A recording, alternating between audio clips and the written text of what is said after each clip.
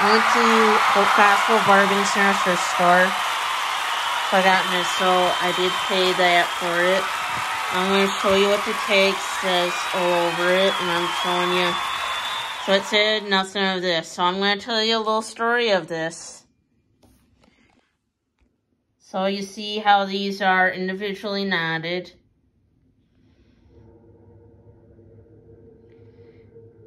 And I'm pretty sure this is, that these beads are gemstones. So, we're to get to the clasp here. Like you remember seeing on my um, pearls I got. So, I'll show you this.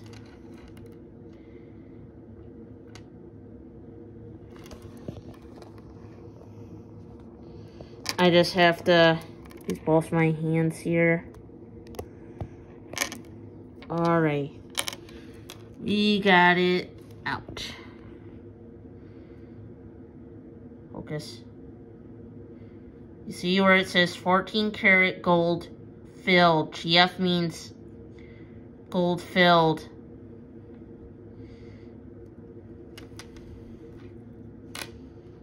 So... Hold on. It didn't want to go back in for me on this. So, the story is with this. So, as soon as I noticed that mark, um, the work employee there had to go say, What, you see a mark there?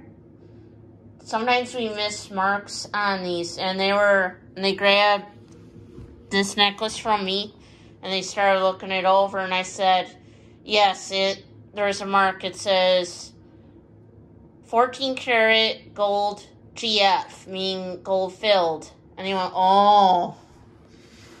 And he goes, Typically, our employees are supposed to look for any marks on these jewelries in their back room.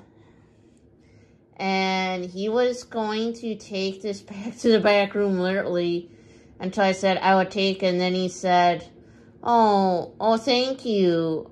And then he gave the look like, oh, and I'm to say F, because it's not a nice word, but you get the point when I say F. so, I think what they were going to do if I didn't buy this, they were going to take it to the back room and mark it take this tag off and mark it for more money than that. And they would have turned around and written gold filled on there on that tag. 14 karat gold filled. You know.